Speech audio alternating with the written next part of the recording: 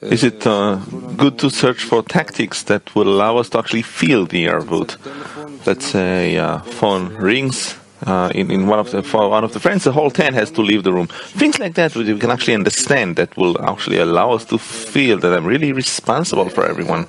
Will that help? The example you gave is a good one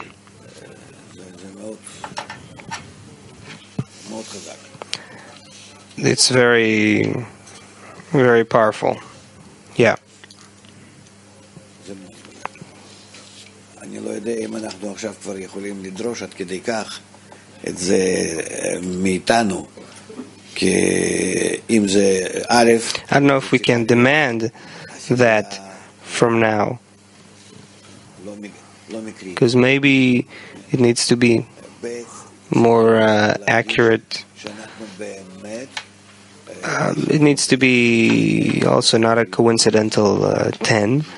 Uh, two, we have to feel that we are responsible for each other, that we are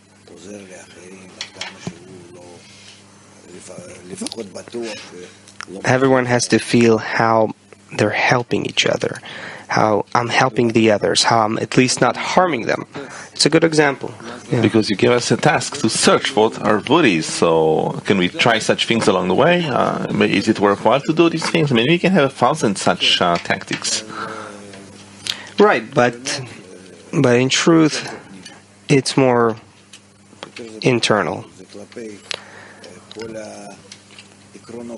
It is with regards to the principles of the group, the principles of the spiritual path. That's where we have to try to always be in, in connection between us. Meaning, of course, you know, everyone needs to take care of the the, the building, you know, or uh, helping kitchen duty, or you know, guard this or that. These are elementary, basic things that, for certain, everyone should make all the required effort. But we should focus more on inner connection.